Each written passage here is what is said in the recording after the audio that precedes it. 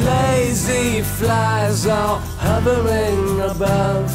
The magistrate, he puts on his gloves and he looks to the clouds, all pink and disheveled.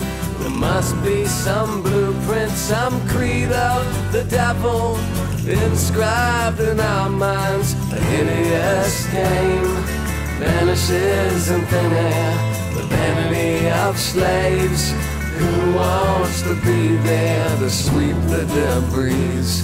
The harness dead horses, to ride in the sun, a life of confessions written in the dust.